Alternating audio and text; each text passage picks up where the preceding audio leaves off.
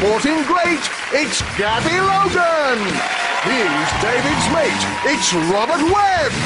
And their team captain, Lee Mack. And facing them tonight, he's the joker in the pack. It's Rob Brydon. He's a Channel 4 hack. It's Krishnan Gurumurthy. And their team captain, David Mitchell.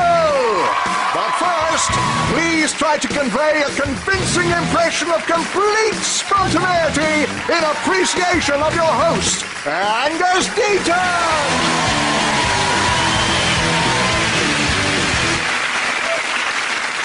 Good evening and welcome to Would I Lie to You? A question to which the answer is, of course I would. This is the BBC. If you look up the definition of lie online, it says it's a type of deception in the form of an untruthful statement, which is pretty rich coming from Wikipedia. And estimates say that everyone lies on average twice a day, so I guess there must be a fair few people out there who aren't lying at all for Gordon Brown to be able to fit in all of his. Which brings us not a moment too soon to round one, the domestically titled Home Truths, in which our panellists take it in turns to read out a statement from a card in front of them. That card may contain a familiar truth or a scurrilous lie that we've made up on their behalf, and they're now reading for the first time, in which case they have about two nanoseconds to come up with a convincing story, so no pressure. Uh, commiserations then to Gabby, who is uh, first up. Thank you, Angus. I have stolen sweets from Madonna's dressing room. Right. Well, I think the, the key is the context there. Why were you in the Madonna complex, uh, moving from room to room in search of sugar? It was actually her dressing room at a concert venue. Could you be specific, or were you taken there blindfolded? It was at a, a venue in London where she was performing. Could you be even more specific than the city? The Brixton Academy. Right. Why were you around the backstage? Did you have a... It was the Brixton Academy. Accidentally, I found myself in the um, VA VVV VIP party that w- was apparently right next to Madonna's dressing room. So I was walking out and looked in and saw this dressing room and just wandered in because um, I was intrigued. What were the sweets? The sweets were, um, you know, those long red licoricey things with sugar that are quite, um, uh, quite sour actually when you, when you know they get the back of your mouth. I find this very hard to believe that the door wasn't manned by I'm disappointed that you don't find it hard to believe that I would steal. No, I accept that straight away. I don't, can't imagine... I mean, even if she asked for sweets, I don't think she'd ask for that sort of red licoricey string. David, your verdict. You're the team captain. You have to come to a decision here. I think we're, we're moving towards lie, aren't we? Yeah. Lie. Okay, you're saying it's a Lie. filthy lie. Liar. Gabby, truth or lie? It is indeed the truth.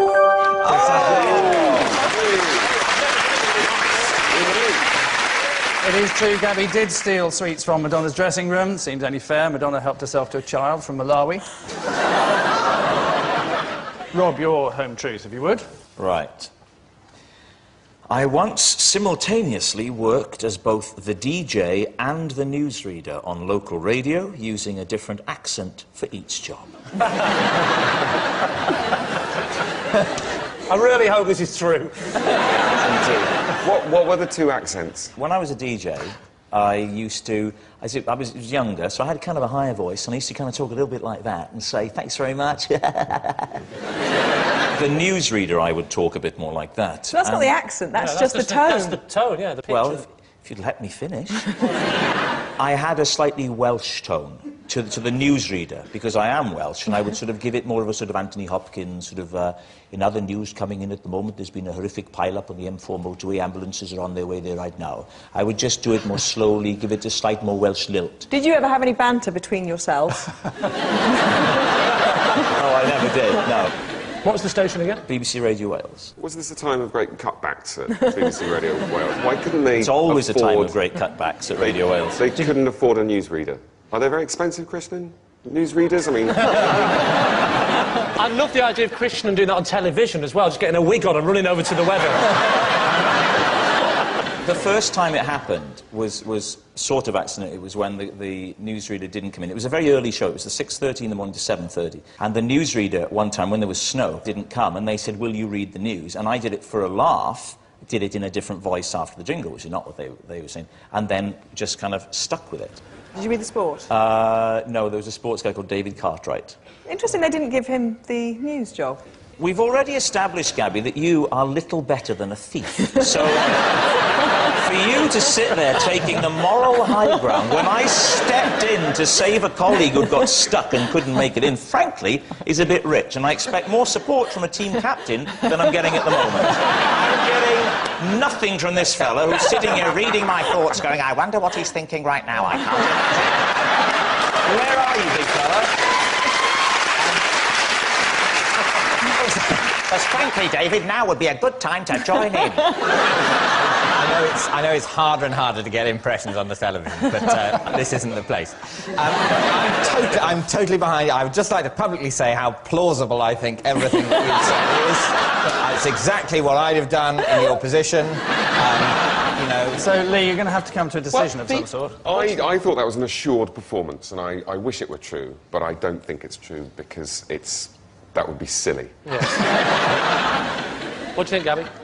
I think it's a lie. Robert, you I think it's a lie. Okay, we think that's a lie.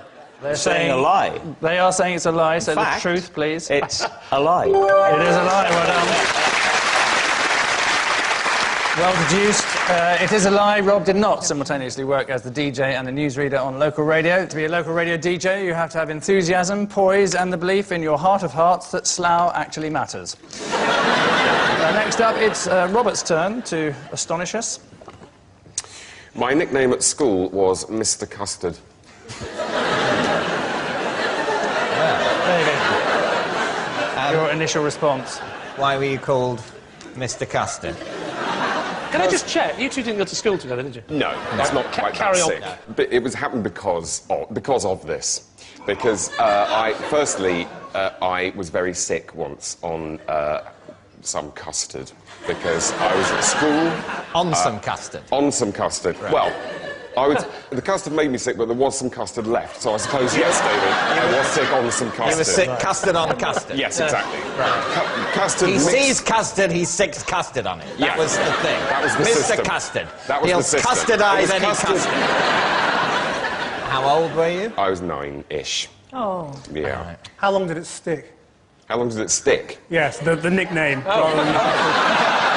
It was actually it was You know, relatively every easy person in this room thought you meant the custard. Everybody.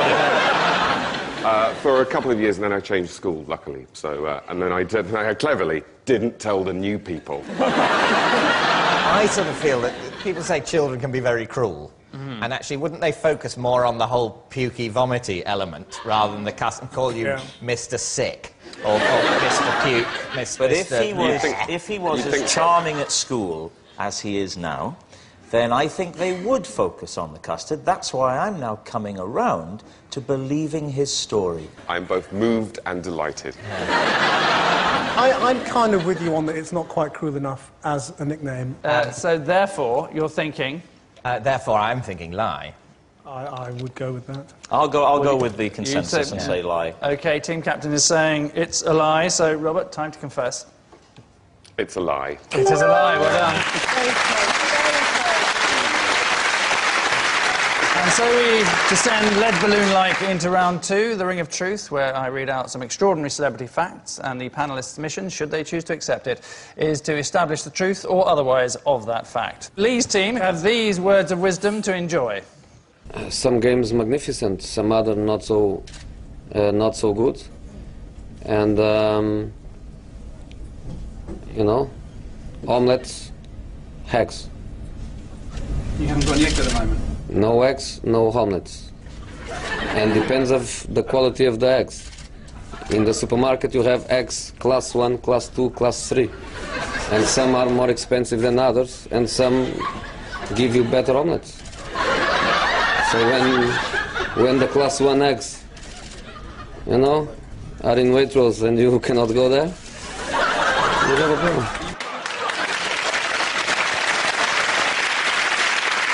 I like it that, you know, he's launched fearlessly into this extended egg metaphor in a, in a second language. And he's a football manager, not the most chatty, eloquent guys usually most of the time. And he start, he's kind of doing it, and then towards the end, he starts to, he starts to slightly smile. And it's kind of, you know, sometimes I even amaze myself. this is great. And then you get the sound of those slightly arse-licky sports journalists starting to chuckling along, going, oh, Jose's off on one again. Oh, I love it when he goes off on one.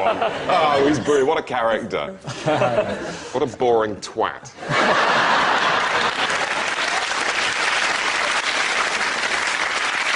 Okay, here is the related fact then. Uh, Jose Mourinho is about to release his own range of air fresheners. The tagline for the advert uh, is that Jose's filling your home with the sweet smell of success. And the fragrances include uh, something called Scent Off and the special one. Sent off. They've obviously put a lot of effort into the pun there. Yes. And the second one, they've just said special one. The third one's probably stinks like a Norwegian forest. Let's go for a pint. Beckham has his own fragrance, and Sven had his own pasta. That's sauce. body and- fragrance, isn't it, Beckham? Alex Ferguson drinks toilet duck. possible. Anything's possible in this game. Uh, so, Lee, any idea? Oh, you're, uh, you're the football expert on this particular panel, so what do you think? what, do you, what do you think, Gabby? Yeah, I don't think it's true. I just think it's too random. I mean, air fresheners. I no. Okay, I'm saying it's a They're lie. saying it's not true, and it is, in fact, a lie. Right, right, well done. Yes, uh, Jose Mourinho is not about to release his own uh, range of air freshener. He was thinking about it, but uh, Roman Abramovich had just bought the world supply of air. Uh, Jose introduced a club dietitian and nutritionist at Chelsea, although Ashley Cole still likes to get stuck into a half-time orange, or Cheryl Tweedy, as she's known. And now for David's team, with a question about this somewhat surprising agony aunt, with the emphasis very much on agony. If you've got no ambition and you don't want to do anything, you might as well just go and lay in a ditch. be expecting to go from where you are now, which is on the sofa, to halfway up the ladder. I don't. And you can't, you've got to begin on the first rung. But I'd rather be on the the first rung of a ladder that I want to climb than halfway up a ladder I don't. Okay, which is this ladder you want to climb? I don't know yet. Climb me up in knots now. I really ain't got a Scooby Doo what you're talking about now. I start running, running ladder or oh, bottom of ladder? Yeah, what do you want to do? I don't know. bottom of a ladder that I So, so what, what ladder do you want to be on? But you don't know what ladder you want to be on. Until you've tried different ladders, Ladders, how do you you know what ladder you want Your to job's be a on? bloody window cleaner.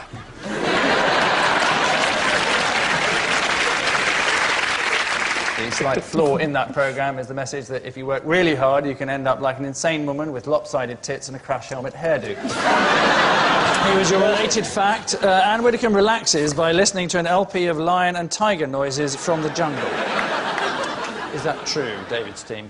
Well, I mean, definitely the possibility exists. I would sort of like to say, in defence of Anne Widdecombe, that the thing that's bad about her is all of her horrible views, not the fact that she's ugly. you know, is that the best thing we can say about this, this woman who sort of voted against gay rights and horribly wanted to get into power and make us do horrible things? Hmm. This evil person. And the only thing we can find to say about her is she doesn't look great. You know, it is a bit like insulting Hitler because you don't like his moustache length, isn't it? Right. Or his hairdo. Or, oh. or his hairdo, exactly. Which I, David didn't want to mention the hairdo. of it. I mean, I don't want to help your team, but the key words you want to be looking out for those is the LP bit. I mean, I, there's something about the idea of being on an LP and going. She would have a gramophone. I think that makes. I think this is undoubtedly true. Uh, are you going to overrule your Uh, teammates? I'm or not going to. go I have them? absolutely no idea. Right. And Rob seems No, I think, it's, confident. I think it's a lie. I So- think it's a lie. Your current view? I, I, I'm going towards a lie because I think the lion and the tiger bit is the thing that sort of. If it was Wales, m- whale music or. Okay, I Wait, I- I think it's true. I'm going to go with what you think I- now. Okay, it's a yes. It's a yes. It's a yes. Say no. Say no. Say no. I would say lie. Um, he says no. He says lie. You say. It's no, lie. It's true.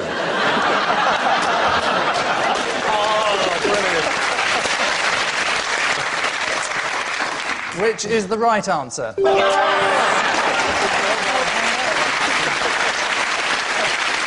Anne Widdecombe does relax uh, by listening to an LP of lion and tiger noises from the jungle. They drown out the growls her stomach makes when she hasn't eaten for 10 minutes.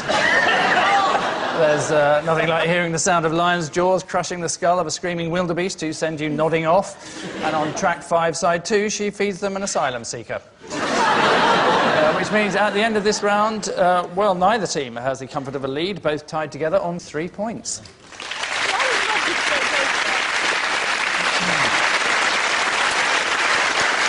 Our next round is the inadequately titled This Is My. Lee's team will each claim to have a connection with tonight's mystery guest, but only one of them will be telling the truth. It's then up to David's team to spot the saint amongst the sinners. So please welcome this week's special guest person, Viva.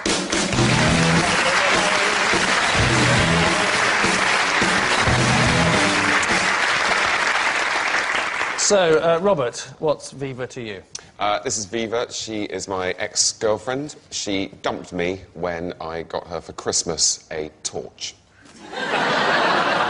Uh, Gabby, perhaps you'd like to explain how you know Viva. Yeah, um, this is Viva.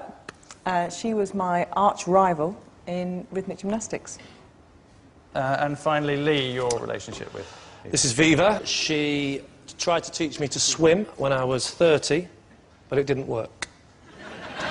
So there you are. A former partner to Robert, a rival gymnast to Gabby, or Lee's unsuccessful swimming coach. Who do you want to start with?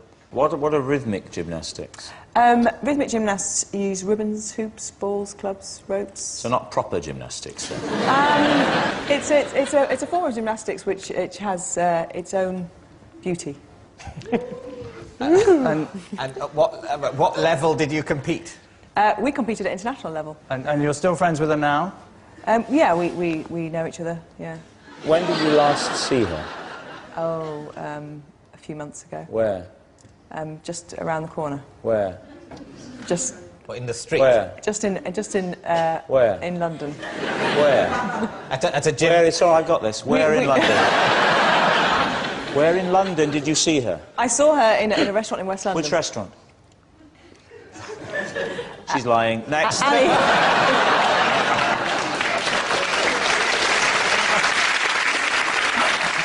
Are you the same age then? Uh, Viva's actually about a year older than me. Yeah.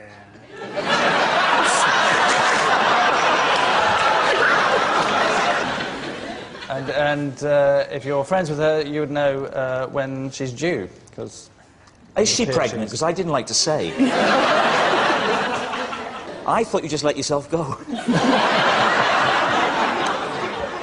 So, what, so you, were, you can't swim, Lee? Well, I couldn't swim when I was 30. I mean, how old are you now? I'm 39. 39. Well, I think you can say if she's been trying to teach you to swim for nine years. No, and she still hasn't been can't. trying to teach me to swim for nine years. She tried to teach me to swim when I was 30, and she failed. Where did you have your lessons? Uh, in my hometown, Southport. I reckon he's lived, he's lived in London for more than nine years. He wouldn't have been in Southport nine years ago, so he How do you know how long I've lived in London? Because of course you've been on the circuit, you've been around for a long Believe time. Believe it or not, you can live up north and still be on the No, telly. you can't. No, you can't. no, you can't. We've, we've got this thing that's just come up north called The Car, and it's brilliant! Why at age 30, what was it that made you think, I really ought to learn to swim? it's a good question, and I can answer that very simply. I moved to Brighton, and uh, I lived in a flat that overlooked the sea. So hang on, so you moved to Brighton and you travelled to Southport to have your swimming lessons? Thank you, sir! You're done! You're done! Oh, Good stuff. Oh. You should be on the bill. Now, when you're finished, can I continue the story? Yeah, yes. I don't think there's any point. At the age of 30, I moved to Brighton and I looked at the sea and I thought, oh my God, I'm terrified of the water. I'm moving back to Southport. Why don't you join? Why don't you join Gabby in Liar's Corner? Rob, when did you go out with... with... Uh, this was uh, the what, in 1991, in between my school and university. What kind of torch was it? Then? Quite a cheap one. We, uh, we met at Gateway Supermarket, which was my after school job. Uh, she was putting out a display of cheap uh, plastic torches. And you thought, I "That's thought, the I thought it would be a funny joke uh, to give her that for Christmas, and it didn't go down as well as I'd hoped. And who dumped who? Fever jump, dumped me. It was partly to do with the torch. Also, it might have been something to do with the fact that I didn't go up to her uh, 18th birthday party because I hated all of her friends. Why did you hate all her friends? They were uh, boorish and irritating.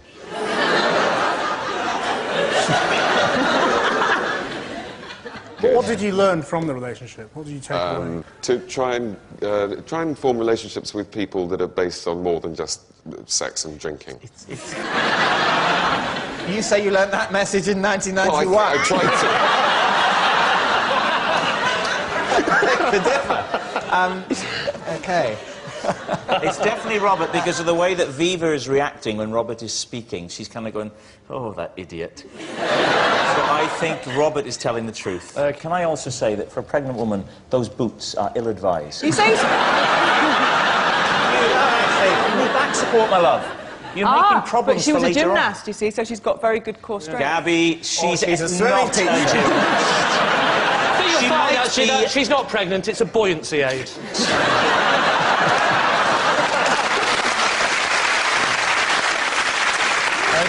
Okay, David's team, we need an answer. So, is this person an erstwhile girlfriend from Robert's past, uh, Gabby's gymnastic opponent, or Lee's swimming teacher? I think R- Roberts is telling the truth because when he said that her friends were really boorish, he looked really quite nervous. Yes, about he did, yes. Okay, I think we're going to say Okay. Rob's telling the saying truth. it's Robert. Viva, perhaps you'd like to reveal who you really are.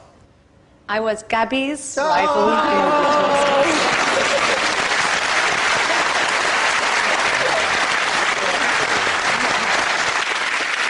ladies and gentlemen, congratulations to Viva, and thank you very much indeed.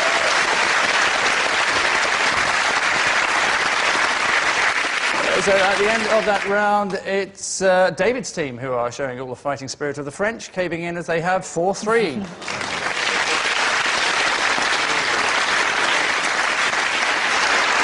so we come now happily to our final round, more disturbing insights from our panellists who yet again have no idea what's written on the card they're about to read. Uh, beginning with David.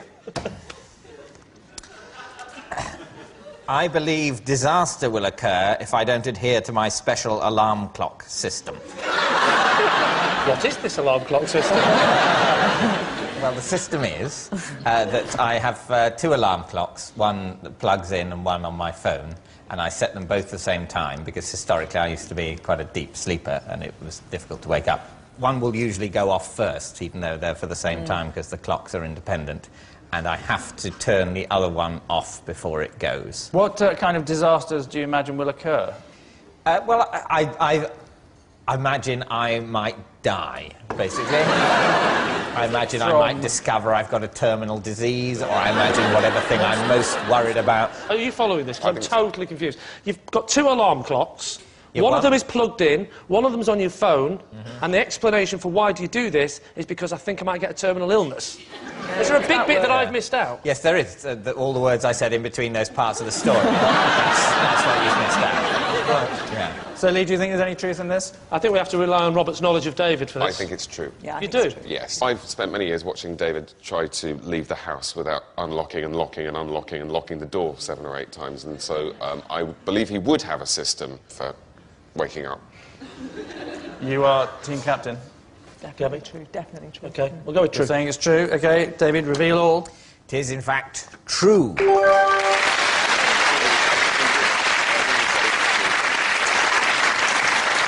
Yes, uh, David does believe that uh, if he doesn't adhere to his special alarm clock system, some kind of disaster will occur, like someone finding out he's got a special alarm clock system. and a lot of sportsmen are superstitious too. Tim Henman, for example, had a lucky towel that he believed made him win tennis matches. He left it in a hotel room in 1993. uh, next, Krishnan. I check for monsters before I go to bed because I'm afraid of the dark. How can that possibly be true? You read the news. Yeah, but there's lights on when he reads the news. Has this gone on a long, long time? Well, since I was very young. Does this happen every night? Every night before you go to bed, you check for monsters? It, depe- it depends on whether I'm alone. Well, It's probably slightly embarrassing if you're not alone to check for monsters. Possibly. I'm, look, I'm a journalist. I, do, I, you know, I travel. I'm, I'm on my own quite a lot. so talk us roughly through. You're in a hotel somewhere away from your wife, it's dark. That much we can pick. I'm in a hotel room. I, I'm on my own, um, as I as I generally would be in a hotel room, and um, I would check uh, in the wardrobe, um, in the in the ensuite bathroom, Right. because you never know what's in the shower. Yeah, I think you'd be pretty sure it's a pubic hair on the wall. the hotels I stay at, anyway. It's a, it's a certainty. Um, Lee, what are you veering towards? Are we saying not true? I, I really don't think Unanimous? Lie. Unanimous, it's a lie. Okay, they're saying it's a lie, Krishnan. Tell us the truth. It's 100% true. It is absolutely true.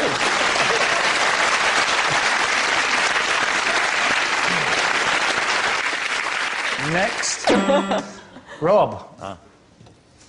You're on. Um, I was voted the 47th sexiest man in Wales. Who was the 48th? I think was John Humphrys, the uh, guy who reads. Who, who made this part? Who was it? Uh... Wales has its own newspaper called the Western Mail. Have we asked him which year this was? Oh, yeah, which year was it? It was, it was clearly not in the last ten. It was about. listen to you, George Clooney. Um, I could take that coming from Robert, who has a certain earthy charm. Right, thank but you. from a rejected Chuckle Brother, it's a bit rich.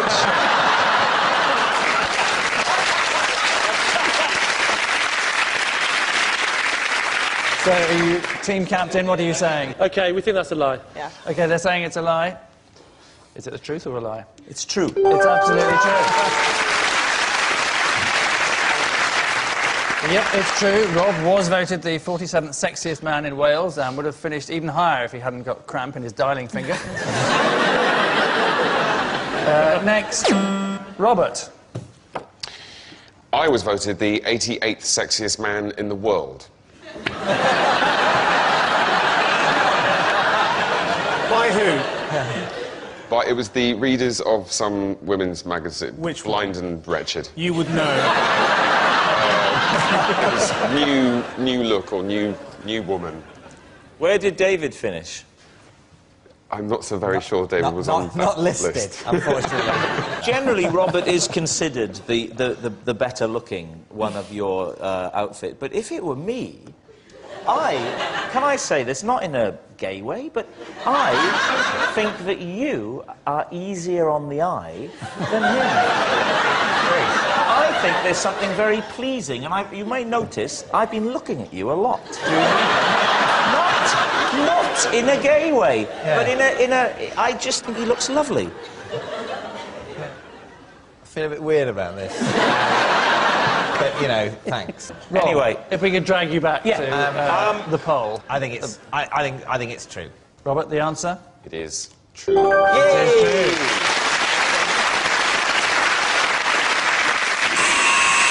which uh, hyperactive buzzing sound means that at the end of tonight's contest, it's uh, David's team who've lied their way to victory, having thrashed Lee's team 7 6.